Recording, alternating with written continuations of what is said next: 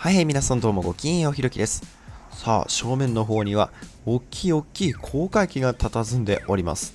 なんか新幹線とかやってきそうな駅ですけれども、この駅はどこかの路線との乗り換え駅とかではなく、単独の駅ということになっております。そして向こうの方には、たくさんの団地が形成されているわけですね。こんな感じの団地はここら辺一帯に形成をされているわけなんですが、1970年あたりから入居が開始された高島平団地ですね。立派ですね。当時からこの高層マンションが立ち並んでいたようで、70年代とかあの辺りはもうそもそも高層の建築物自体が珍しくてかなり注目を浴びていたみたいです。さあ、そして駅の中に入ってくるとなんかお寿司屋さんのあのイカとか卵とか書いてありそうな札がたくさんあるんですが、よく見るとこれ、都営三田線の駅名がね、しっかりと刻まれているわけなんです。いや、なんか斬新なデザインですよね。しかも色合いも赤と青という斬新な組み合わせです。さあ、そしてここからですね、ちょっと面白い運用の列車が存在をしております。これ、行き先をご覧いただきますと、すべての列車が終点西高島平行きとなっているわけです。南側の方は目黒駅ということで、東急線と直通運転なんかを行っていたりします。ただ、終点は中途半端な西高島平、もうちょっとで橋を渡ったら埼玉県なのにギリギリ東京都といった形になっております。さあ正面からは中線の方にこの高島平駅東駅止まりとなる列車がやってきました。話をすればの東急の車両ですねこれは。さあそしてこの高島平駅からはですね休日の夜2本だけ運転されているなんとも謎に満ちた列車が運転されているということでその列車に乗車をしていきます。なんでもその列車はこの高島平を出発した後お次2駅先の西高島平までしか行かないたった2駅で終点に到着してしまう列車ということで一体何の理由があるのかその列車に乗車しつつその理由を紐解いていきたいと思います。さあそして端っこのホームからは西高島平行きの列車が出発。あれも目黒駅の方から来た列車ということで終点まで行く列車は大体があの東急の方から来て目黒から三田線に入ってこっちの終点末端の方まで来るそういった運用になっておりますにしてもこの高島平駅立派な構造ですよねこっち4番線ですけども1番線から4番線まであるということで駅の構造は2面4線、線路が4本ある構造になっております。しかも時刻表をご覧いただきますと、しっかりとこういう風に1時間あたり何本ぐらいありますかね、まあ、10本以上は確保されていますでしょうかね。時刻表を見ると、これ印がないのが西高島平まで行く列車で、で、三角のやつがこの高島平を始発とする列車ということになっております。ほらほら、ありました、これ。20時台休日に2つだけ2本だけね三角マークのやつがあるわけですよさあまずは目黒方面からやってきた西高島平行きの列車を通しますこの駅は内側の2本にこの高島平止まりの列車なんかがやってきてそして外側を、まあ、本線の普通の列車が発着をしていくそういった形となっておりますさあそして次やってくる20時11分発の列車がこの2駅で終点に到着をしてしまう短い列車なんですが、これ見る感じだと何も書いてないんですね。高島平始発なんですが、あたかもこれ目黒の方からやってきたように表記をされております。ただこっち見るとですね、しれっと、ほら、この電車は東駅始発ですの文字が右から左へ流れてっているわけですね。間にしれっと東駅始発の列車が入りますので、これはね、気づきませんよ。さあやってきました4番線20時11分発のこの高島平発2駅先の西高島平行きの列車ですここから西高島平までの所要時間は駅間が相当短いのでたったの3分間ということで3分で終点に着きますそしてこの列車ね入線してくる時の速度がねめちゃくちゃゆっくりなわけなんですよさっきの西高島平の方に行く目黒の方から来た列車なんかスーッと結構ホームドアもついてるんでね、スピードを上げて入線をしてきましたが、ゆったりとここでピタッと停車をしてドアが開きます。一応三田線の本線上に停車をしているということになりますので、あんまりね、長いはできません。列車が突っかえてしまいます。さあ、そして、すごいな。全駅に高島平の地名が入っております。これならね、高島平の方に訪問する方がなんか間違えちゃうんじゃないかなって思ってしまいますが、それぞれの駅間は本当に数百メートルごとに並んでいるような形なので、あっという間に終点に到着。そして車内はこのありさまです。ガラガラ。土日休日、しかも下り列車で短距離利用という利用客が少ない条件を満たしに満たしまくっているわけですね。そりゃ人が少ないわといった感じです。さあ、そしてこの車両ね、パッと見、なんか地下鉄の車両っぽい感じがするんですが、実はこれ三田線の車両ではなくて、このラインカラーでおなじみ、東急の3000系という電車なんですね。ほら、しっかりと地下鉄線内を走れるように貫通扉、前面の扉なんかもついております。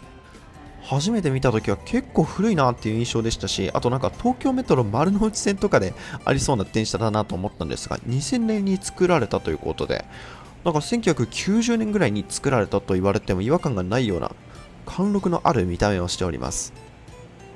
さあ、そして奥の方からはピカピカの電車がやってきましたが、おお、これ、三田線の新型車両ですよ、6500型。いやこれ本当に側面も前面も電子レンジのようなカクカクとした見た目をしております。この列車は高島平終点ということなのでここで接続が行われるみたいです、まあ、高島平から先西高島平の方に行きたい方はこんな感じでこの2駅で終点の列車に乗り換えるわけなんですがまあ利用客はまばらですね。まあ、一口に高島平といってもこの一帯西高島平の方まで団地は続いているのでここ都心の方から帰ってくるお客さんも、まあ、かなり多いことなのでしょう。さあ接続を待ちましていよいよ終点に向けて2駅で終点の列車が出発です。これちょっとあまりにもお隣の新高島平駅までのあの距離が短いのでここからねノーカットでお隣の駅までお届けします。ここの付近はあの路線図をご覧いただきますとこんな感じになっていて高島平からずっと西に伸びる新高島平そして終点が西高島平になっております。駅間距離はだいたい 600m とか 700m とかそれぐらいなんですね。というのもここはもともと高島平から東側の方は都営三田線の建設予定だったんですがさっきの高島平から西側の方っていうのは東武鉄道によって建設が予定されておりました。もう今から半世紀以上前のことですかね。とか言って歴史を解説しようとしているさなかもうお次の新高島平駅に到着をしてしまいました。もともとはこの末端の区間も東武鉄道の方が免許を持っていてでその時この新高島平駅は当時志村団地駅という駅名で開業する予定だったらしいんですね。もともとの計画では東武東上線の和光市とか成増あそこら辺から川を渡ってこっちの新高島平の方まで東武と三田線は直通運転をする計画だったんですね。まあ、ただ東武鉄道の方がやっぱり三田線じゃなくて東京メトロの有楽町線と直通運転をします。ということで計画を変更して三田線は孤立することになってしまいました、まあ、というのもやっぱり東武鉄道東上線のターミナルといえば池袋駅ということであそこら辺には東武系列のデパートなんかもたくさん入っているので三田線を経由するルートになってしまうとその池袋をねこう迂回するような形になっちゃうんですね。まなので、今直通している有楽町線も池袋を経由していると思いますが、まあ、池袋を迂回するのはさすがにまずいということで、この三田線との直通構想はなくなってしまいました。映像自体はもうずっとノーカットでお届けしているのですが、もう終点に到着をしようとしております。まあ、この都営三田線があの他の都営地下鉄とは違う狂気という結構狭い線路幅で唯一作られているのですが、その線路幅で建設されたのも当時建設当初から東武鉄道と直通運転を行う構想があったからと言われております。東武の線路幅と合わせて設計をされているわけですね。さあ終点の西高島平。ここら辺もその東武が直通運転をやめますと言ってからこの西高島平から高島平の間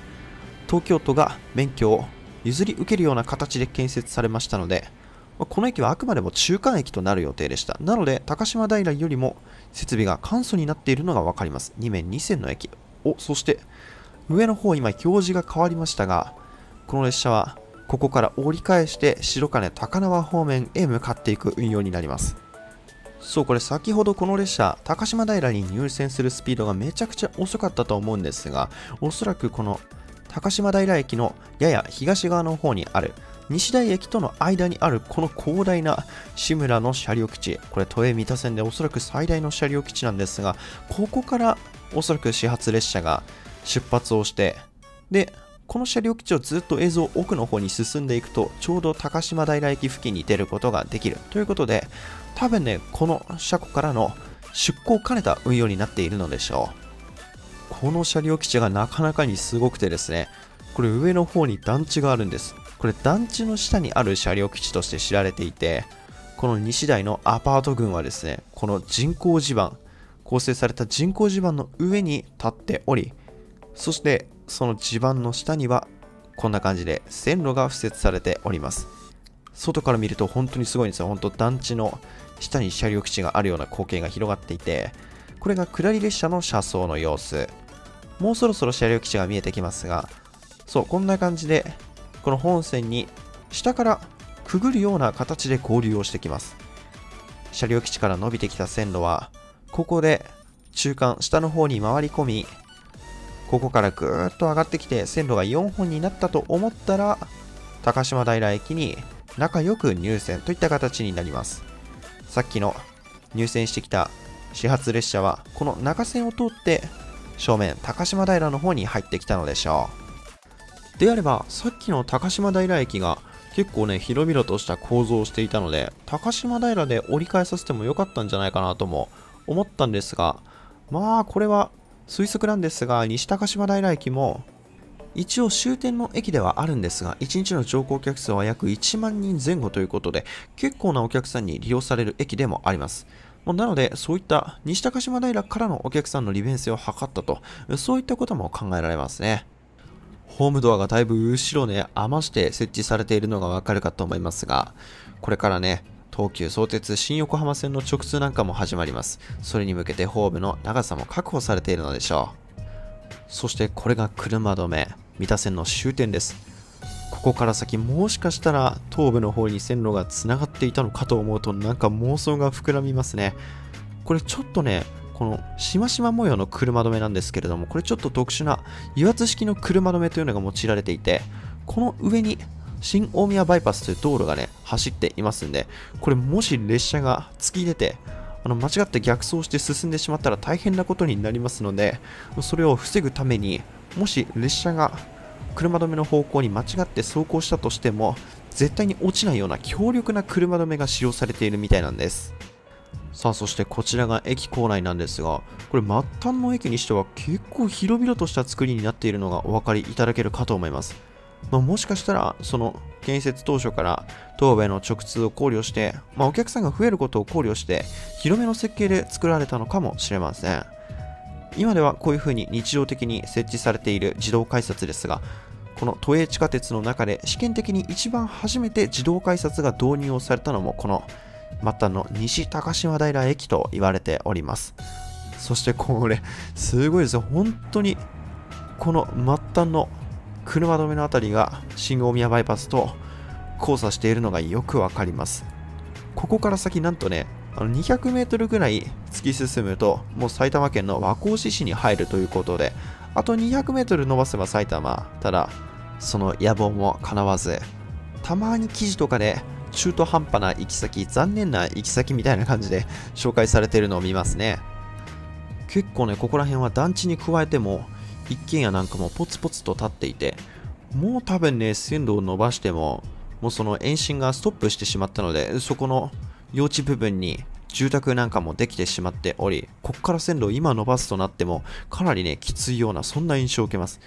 僕も一時期大学生の時に一人暮らしをする際、大学3年ぐらいの頃にこの三田線沿線で物件を探していた時期があって、結構この沿線はね、リーズナブルなお値段で賃貸を借りることもでき、まあ、その賃貸物件が豊富な場所だったりもします。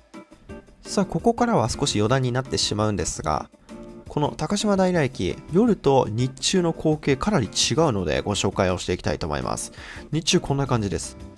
まあ、まず一発目思うのが、とにかくこれ敷地が広いと、屋根がこうドーム状になっていて、かなり開放感のある駅。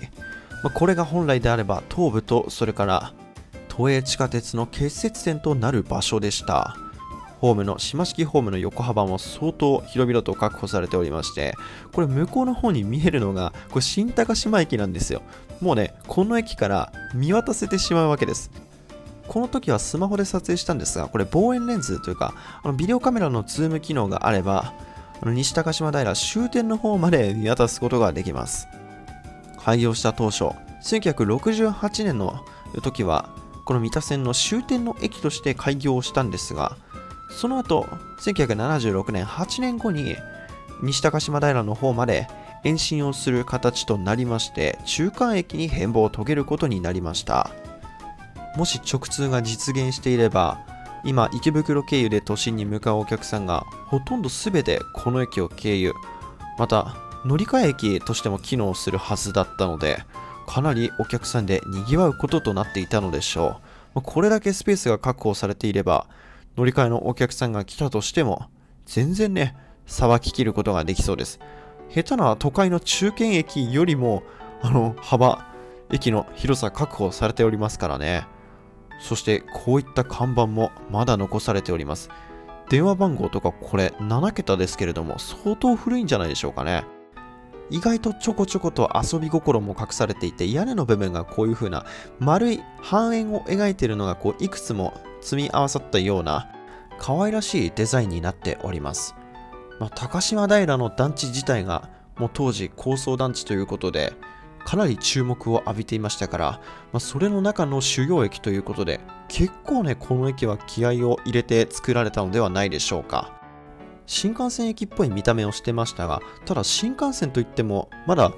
この高島平ができた60年代っていうのは上越新幹線とか東北新幹線も建設をされておらずもう東海道新幹線がギリできた数年後それくらいだったので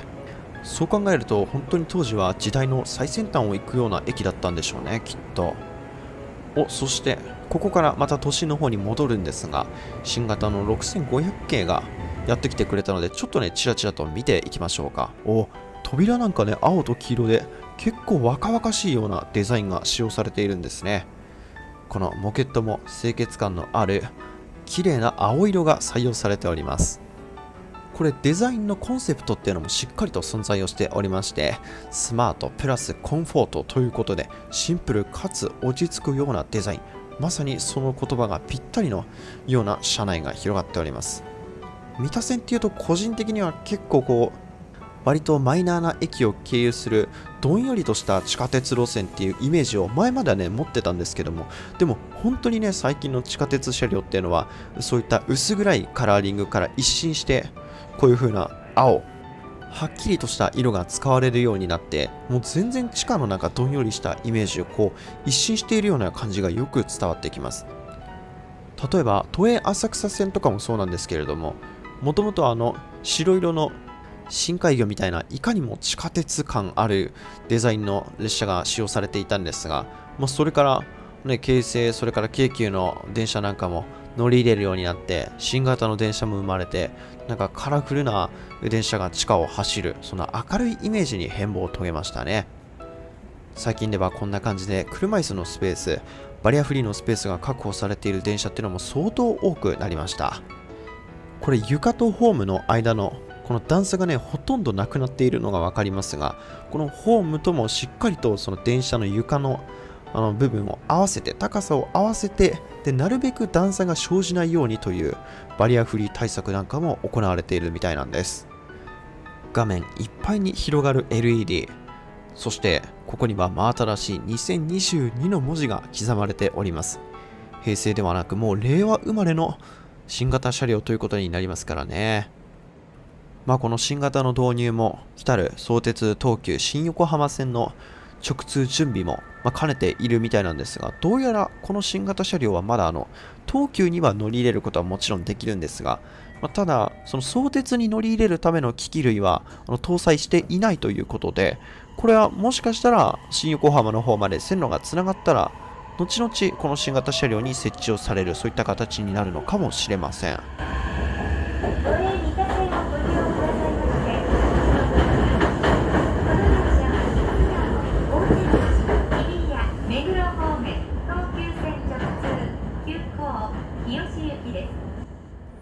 というわけで本日は2駅で終点に到着する列車についてのご紹介でした。ありがとうございました。